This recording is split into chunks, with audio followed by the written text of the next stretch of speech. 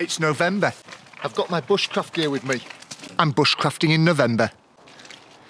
It has been raining here in the UK a lot for weeks. Everything in the woods is soaking wet. Conventional theory and wisdom suggests I should still be able to take some materials from out here in these woods and with a little bit of careful planning, preparation and coaxing, still be able to take an ember using those materials into flame. That's what the conventional wisdom and theory says. Let's find out in practice if I'm actually able to do that. If you're keen to expand and improve your ability to start fires when it's been raining, keep watching. Hi folks, I'm Craig Taylor and as always a huge thanks for joining me here on my YouTube channel, The Bushcraft Padawan. If you're not yet a subscriber, enjoy watching this video and want to improve your bushcraft skills, then make sure you click on that red subscribe button in the bottom right hand corner of your screen at any point during this video so you don't miss out on future updates from my channel. Cheers. Let's get back to the reason I'm out in the woods today then. I've been watching a video recently from Paul Kirtley in which he talks about five um, wet weather fire bundles, I think the, the, title of the video is five wet weather fire bundles. And he talks about five different uh, materials, five different um, plants, five different species that even when wet, you can very quickly, with uh, some skills I'm going to cover in today's video, get them into a condition where once you've dropped an ember, they should be in a good enough condition, assuming you've done everything right, to be able to take the ember, wrap these materials around it in a bird's nest type of, um, of configuration as, as we've come to know it, and blow that into flame. Those five species in no particular order were bracken, I remember that one because I'm looking at it just at a camera shot there. There was bracken, there was honeysuckle, there was clematis, there was cleavers, Galium aparine, and um, grass. So bracken, honeysuckle, clematis, cleavers and grass. Now I certainly know that honeysuckle and bracken are rife in this woodland that I'm in. I never remember seeing any tussock grass, but to be honest, I've never really looked for it, so I'm to go and have a look for that. But I've never seen any cleavers or uh, clematis in these woods. So I may not get around in this video to trying those two species out, but I'm certainly going to have a go at the bracken, the honeysuckle, and if I can find any, the grass. As I've said earlier in the video, it's been soaking wet here recently. Everything appears to be um, soaking wet through. So let's, uh, let's, let's have a look at how I get on with taking these materials into flame. Let's think this through then. It's been raining, the materials are wet, the materials are going to need to be dried out.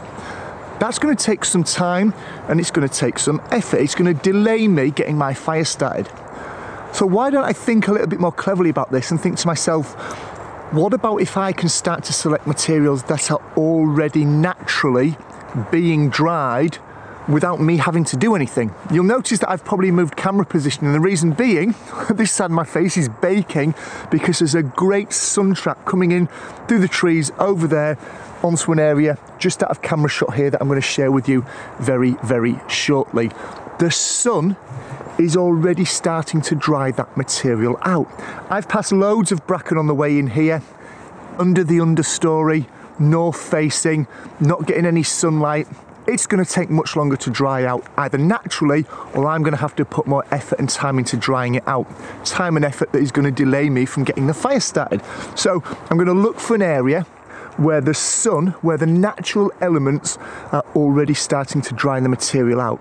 Now I'm about to select some bracken, but that same principle applies to whether I was looking for clematis, honeysuckle, grass, cleavers, or any material after it's been raining. The more work Mother Nature can, or the more help Mother Nature can provide me in drying the material, the less I have to do. So yes, I'm about to select some bracken, that same principle of selecting a sun trap to get it from is going to save you time. And don't just think about the sun drying things off. The wind, the breeze can also help to dry. So when I select this material, I'm not going to select the stuff that is lower down in the stack, even though it might be getting some sun. I'm going to select the stuff that's at the top of the pile of bracken because it's going to have been Just checking the dog's not going to hit the tripod. It's got more chance. Oh, she did. There's more chance that it's going to have been um, subjected to the wind and the breeze, and that can have helped to uh, to start to drive any moisture off. So let me get my hands stuck into this bracken. There you go, you can now see what I was looking at, that beautiful sun trap. It's very, very warm stood here. You might just be able to see Willow prancing around in the background. You may see a head or tail pop up very shortly. But if we look at this shot now, you'll see that there are elements, I think there, where the bracken is much darker. It is lower down, it is much darker than the bracken that's up here.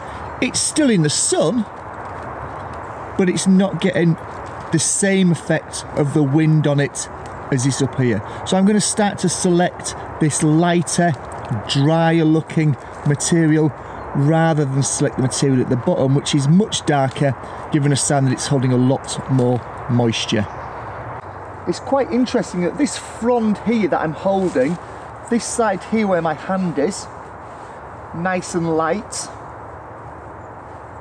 fairly dry to the touch, but even the same frond, this side, which is probably out of camera shot for you, is ever so subtly more in the shade than this side. It's the same frond, it's the same, you know, it's the same piece of, of bracken, but it's just slightly lower, slightly more north facing, and wow, that's amazing. The difference between touching that there with my left hand and this here with my right hand, it's almost like they're two different plants. So quite a significant difference between the two. So rather than take the whole thing out, I'm going to take out the parts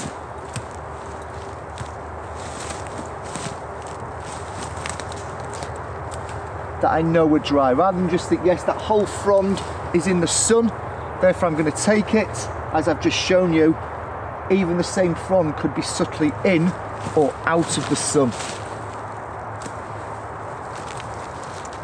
You'll notice I'm not taking the main stem or stalk of the bracken either.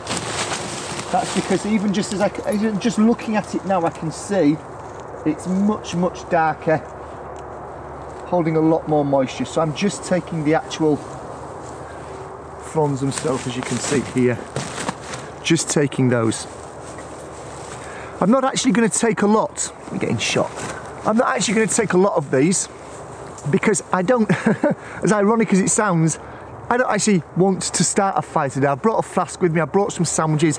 I've got no need to have a fire, but what I want to do is just to be able to blow them into flame to give me a sense of confidence that if I wanted to have a fire, if I'd got a bigger um, bird's nest and, and, tinder and fuel, I could progress that to fire. But this is about taking material that has been soaking wet and getting it into flame. I'm going to collect a few more of these leave them to dry and whilst I'm doing that I'm going to go look for some different types of material.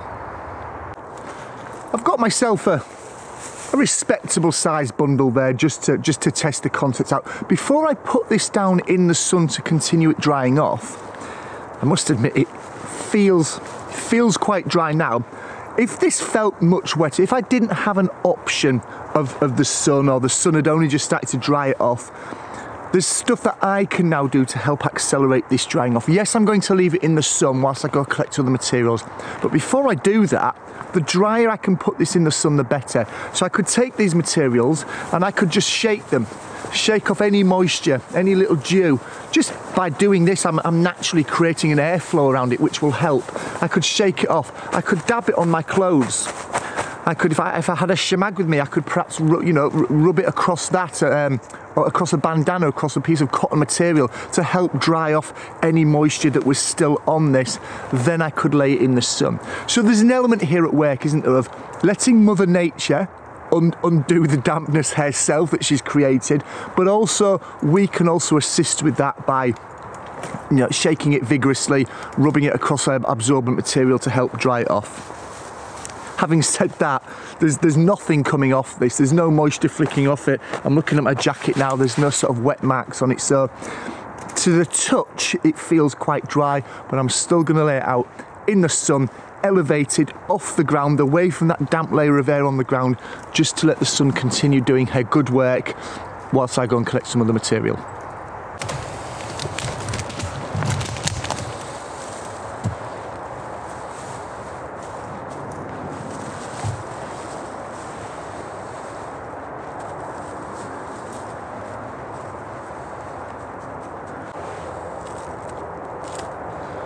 I haven't had to wander very far before I found myself some honeysuckle, Lonicera periclymenum.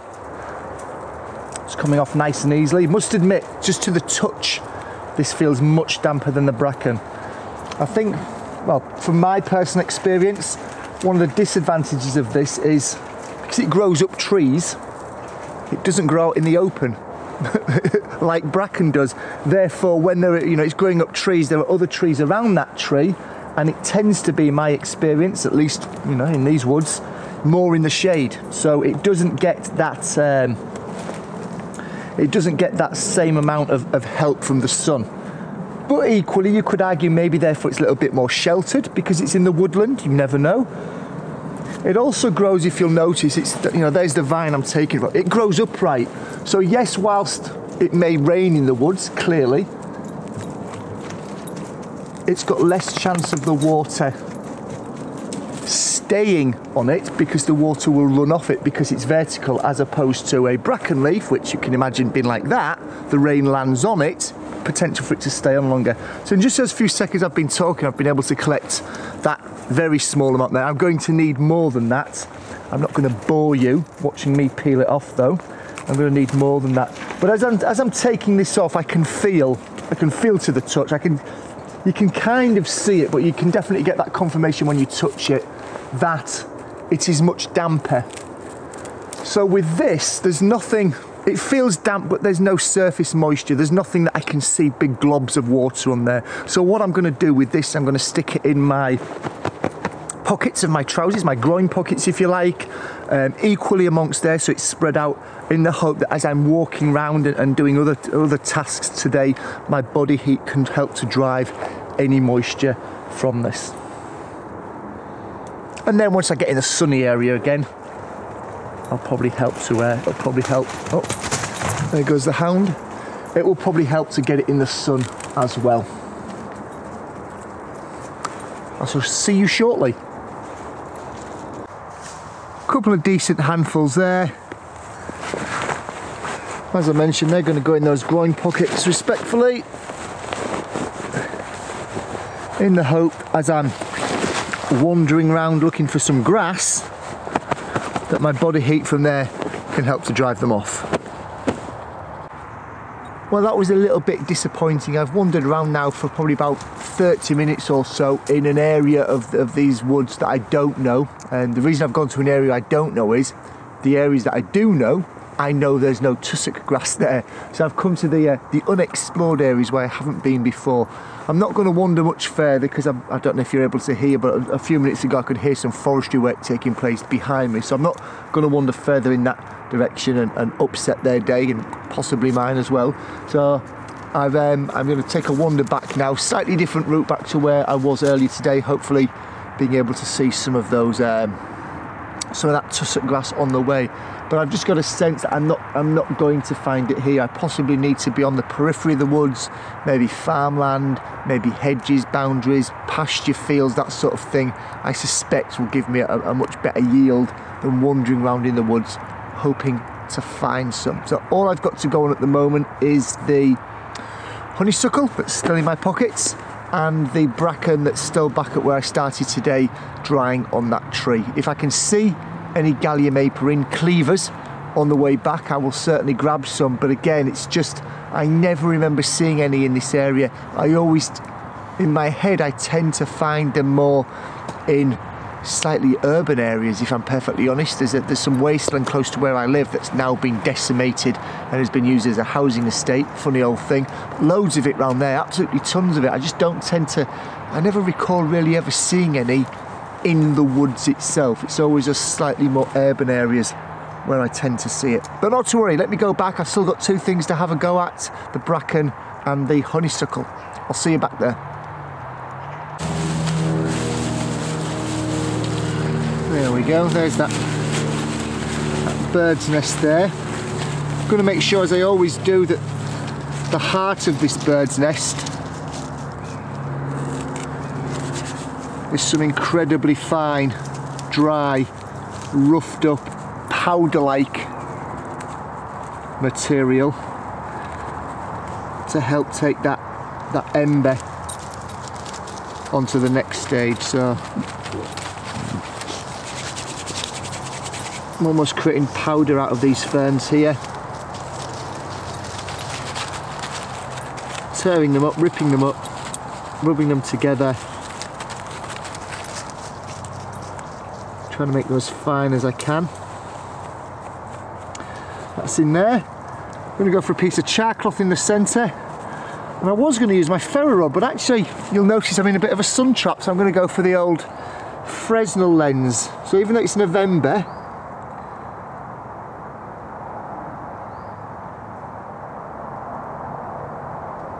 let's see if we can still have some success. There we go. Wow, look at that. Last day of November.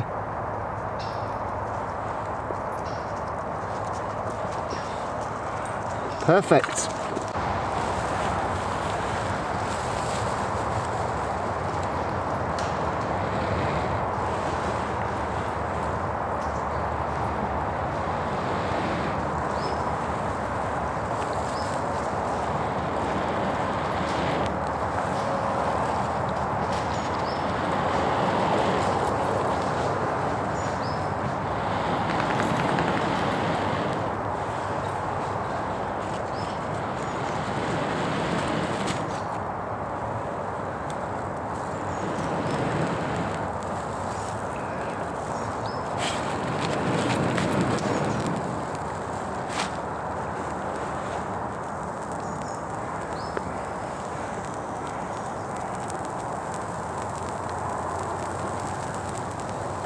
There we have it folks.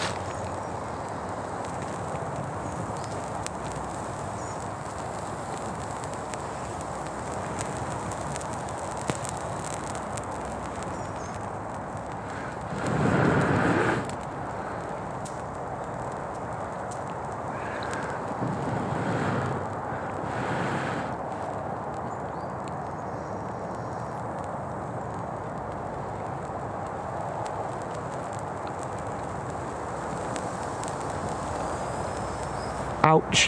Time to drop that, I think. you there? Good.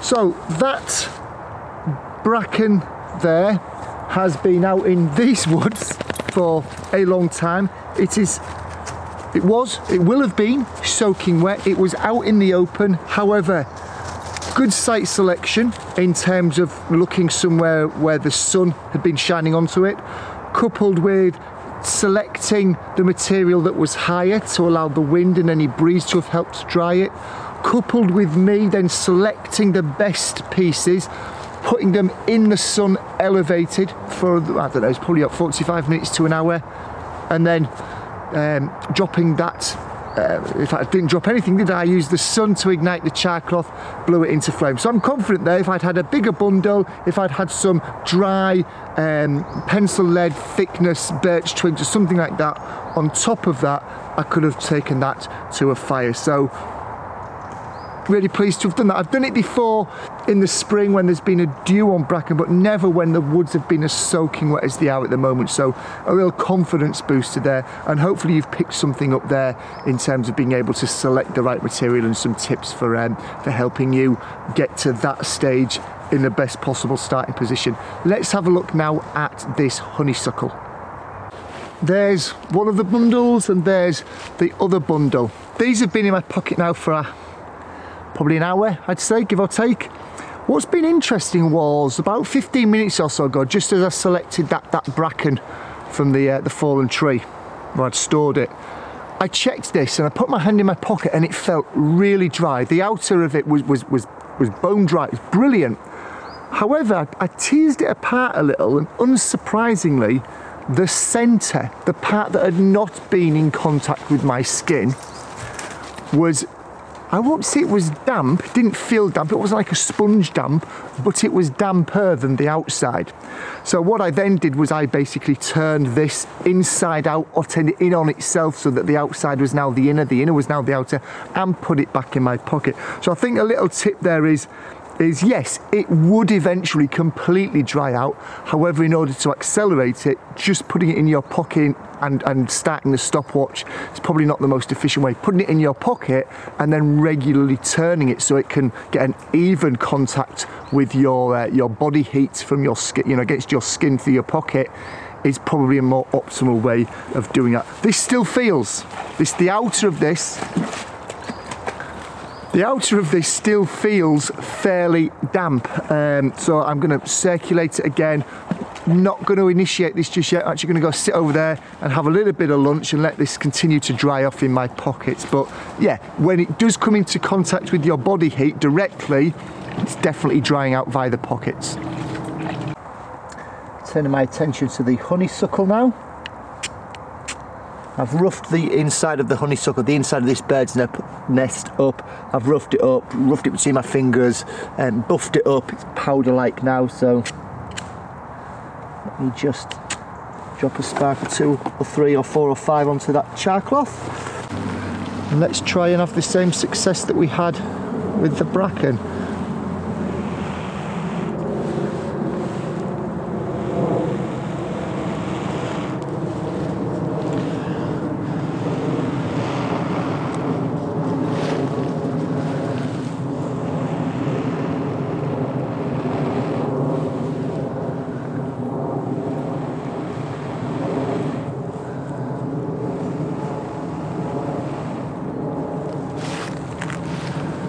We have it.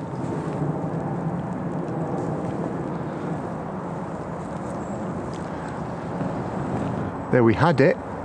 Probably didn't invert it for long enough. There we have it, folks. Certainly not consuming itself as quickly as it does when it is bone, bone, bone dry.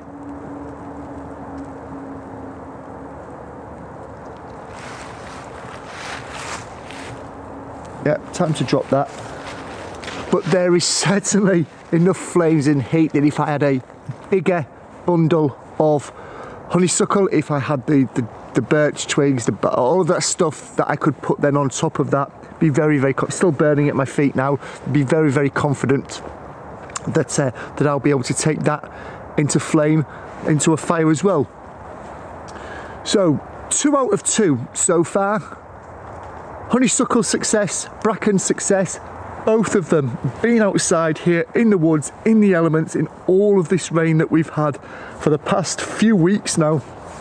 And through careful selection and processing and, and all of that good stuff, have been able to affect uh, the, the or initiate a fire from them. A little disappointed that I didn't find any um, clematis, tussock grass, or cleavers However, now that I've got the bit between my teeth in terms of wet, wet weather fire bundles, I shall certainly be keeping a keen eye out for them um, in the future. And if I can find any, I may even just sort of try and gather some and do an impromptu video there and then, because they may not always be in the woodland when I take my gear out with me.